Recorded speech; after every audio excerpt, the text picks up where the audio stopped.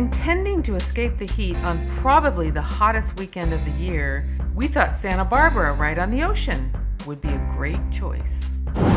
Labor Day weekend, a couple of years ago, we thought we learned our lesson.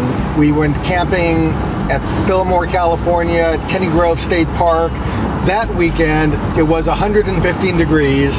And I remember as we were baking in our Airstream, looking at my phone to see what the weather was like at the beach areas where it was in the 80s. So I made a mental note to self in the future, Labor Day weekend, Southern California, the only place to go is the beach.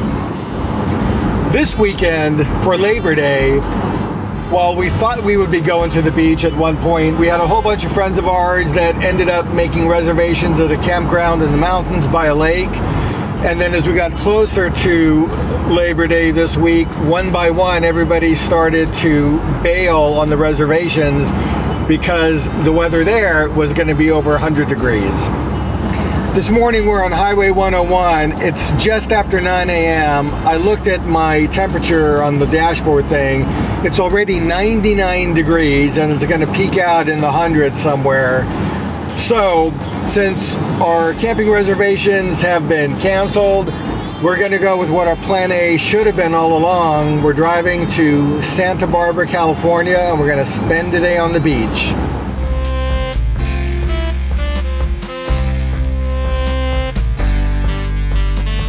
First stop for us was strolling along Cabrillo Boulevard with the ocean to our left, along with the Santa Barbara Arts and Crafts Show. Held every Sunday throughout the year, local artisans display their wares for sale. You can find one of a kind paintings, sculptures, pottery, photography. Nearly every medium of art is represented at the show in the dozens and dozens of pop up tents and tables. Sellers have to live in Santa Barbara to participate. We always enjoy browsing the items for sale when the show is in season during our trips to Santa Barbara. It's a beautiful kaleidoscope. It sparkles. It's really beautiful. Harold Chase and Pearl Chase. The Chase These guys are my They're sister and brother who contributed to Santa Barbara's beauty and welfare, including establishing this park. These are like emergency parachute. Uh, what, what's the cord called? Para, parachute cord. Parachute cord. Yeah. So these are used like when you're back back camping. You'll find the show between Stearns Wharf and Calle Cesar Chavez. Show hours are from 10 a.m. until dusk. Oh, and the browsing is free. After the Arts and Crafts Show, we wandered up State Street and headed over to the Santa Barbara Visitor Center. You say, we're supposed to be here to cool down, right? It's not. It's not cool. This is your go to place to get up to date information on activities from attractions to museums, bike rentals, guided tours, and current events. It's also a great place to book a wine tour, sunset cruise, or whale watching excursion. There's plenty of free brochures and maps to help you plan things to do in the area. Here we have books from local authors in the Santa Barbara area. They are uh, very prominent at this visitor center and on the art walk that we just took. I think they treasure their local artists here. Everything with the logo is made here. He does the totes for us. he uh-huh. does the baby stuff. It's literally four blocks from here. Nathan's company is Addicted Lifestyle. Yeah. Our jewelry is done here. Free local women. Our cards locally Yeah, that's done. awesome. I really, I really, I appreciate that. Yeah, we don't live locally, makes for but better visitor yeah. takeaway. Yeah. And inside, the carefully curated mercantile has items for sale produced by locals from the area, from books to souvenirs, including glasses, shirts, craft items, jewelry, and more. We drove our car to Santa Barbara, but many people enjoy taking the train. Two Amtrak trains travel to the city. The Pacific Surfliner can get you here from San Luis Obispo to the north and from San Diego to the south, and from multiple cities in between. And to make it easier to get around Santa Barbara, the Pacific Surfliner offers complimentary transfers to your final destination via Santa Barbara buses and electric shuttles. The train stops within steps of State Street where you can depart the train and start exploring the city. State Street is the heart of Santa Barbara's downtown area. An entertainment, dining, and retail district has been transformed since the COVID era into a 10 block pedestrian walkway between Sola and Gutierrez streets. State Street is a great place to stroll, browse, shop, and dine while admiring the Spanish style architecture of Santa Barbara. Did we say the weather was hot? That means a stop inside the ice cream store. So many choices, and so much for our plan to escape the heat. At least we can get something refreshing at the ice cream store. They have smoothies. They have functional smoothies, whatever that means. Oh, it has it has supplements, and they have. Oh man, they have tons of smoothies and they have ice cream. The bee stinger for me, blueberry, banana, bee pollen, protein, and Julie got. Peach and pineapple with with bee pollen. That'll work. It's very good. There we go. So this is the way we do things in California. You know, you're not allowed to have plastic straws because it's really bad for the environment. So we've got paper straws. This is what they give you. Yeah, falling apart, but it goes into what, Julie? Plastic. Plastic cup. I don't get it. It's been at least two decades since we visited the Santa Barbara Museum of Art, and it seems the perfect choice on this day of 100 degree temperatures. Stepping inside to escape the heat, we learn about a docent led tour starting within 20 minutes of our arrival. At the Santa Barbara Art Museum, admission here is $10 for adults, $6 for seniors. The entry foyer has a great collection of salon art, and this is where our docent led tour started. What most people don't know about a sculpture like this is it's made from black basalt, which is an incredibly hard stone. Sometimes it would take three generations to create a sculpture like this, meaning a sculptor would start carving on this in basalt, and his child would take over and do spend their whole lifetime doing this, and even the grandchild would finish a sculpture like this. Can you imagine that? Three generations because the stone is, stone is so hard. This museum holds 25,000 works of art with classical antiquities only rivaled on the west side by the J. Paul Getty Museum. You can see masterpieces of French Impressionism, and no West Coast museum owns more paintings by Monet. The permanent collection includes arts from all over the globe. This room had an exhibit of Greco Roman images and photography. This room showcased Asian art with a great collection representing China.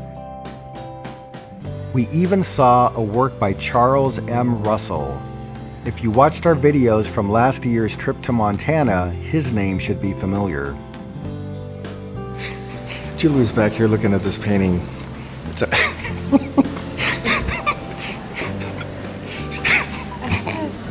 she I said, said it's, oh look, a Matisse. and I said, Matisse, isn't that a dog? he said, a, No, that's a Maltese. a Maltese. So I don't know anything about art, other than it's my, my name.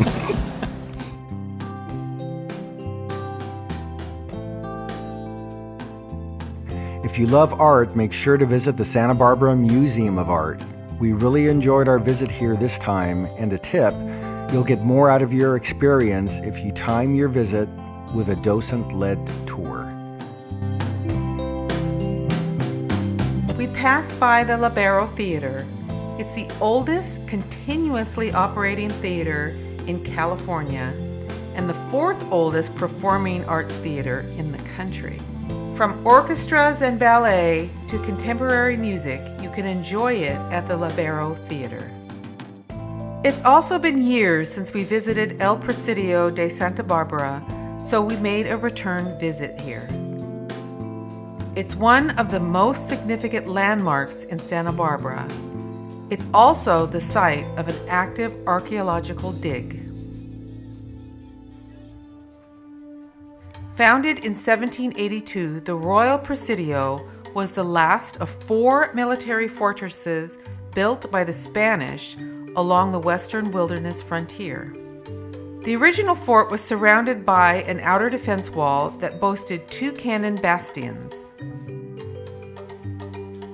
After a strong storm Santa Barbara, Nolan Harter saw something in the exposed bedrock as he was jogging along Goleta Beach Park in 1982. What he saw peeking above the surface of the sand were five cannons, the guns of Goleta. Many of the artifacts on display come from the archaeological digs at the site. There are three major structures here. Most of the buildings are carefully researched reconstructions. You can visit the living quarters used by the lieutenant as well as the soldiers. Behind the north wing, we walked among the orchards and viewed the archaeological site of the Presidio's outer defense wall. The chapel was the first in Santa Barbara for local town residents. We're at the Presidio in Santa Barbara. We're standing inside the chapel area. This room was reconstructed in 1985, and it turns out that the site of this chapel sits on the grounds where the Japanese Buddhist temple was constructed in 1929. So there's a, um, a mishmash of some history. This is a place where residents who were here would have prayed three times a day. It's also the sacred space where important events would happen weddings, funerals, daily prayer, and reconstructed here at the Presidio in Santa Barbara.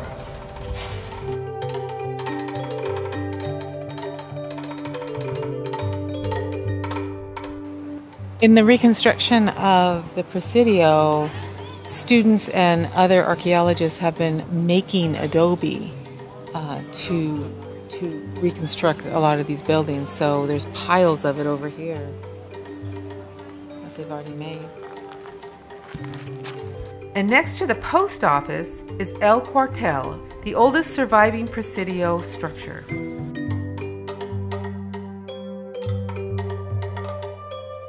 There's also a display about the Japanese community who resided in the Presidio sector, including the unfortunate treatment that transpired during World War II. It's a history we've been bumping into very frequently during our last two years of travel and worthy of remembrance.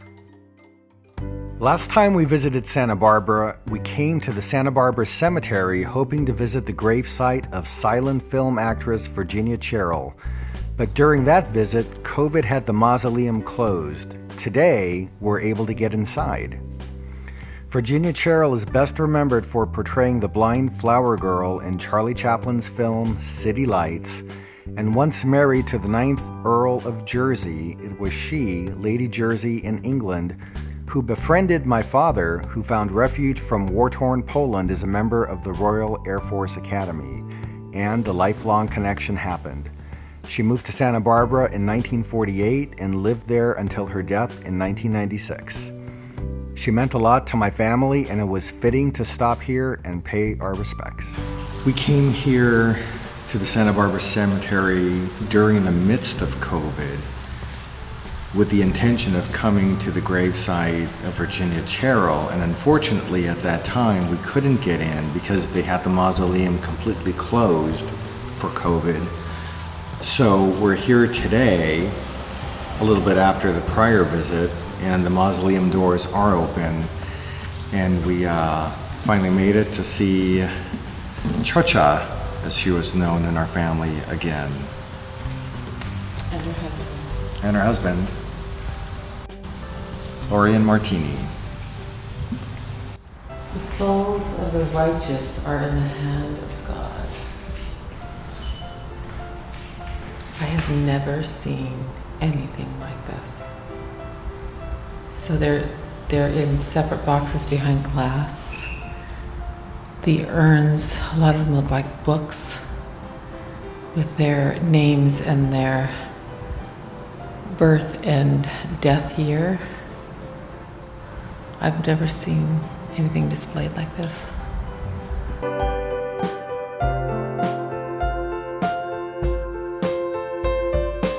At the end of the day, it's time for dinner at Brophy Brothers. It's a great place for local seafood featuring a clam and oyster bar, and we love the views of the harbor. So while we didn't escape the heat, we had a great day in Santa Barbara. And like always, we'll be sure to return for more adventures in this great California city.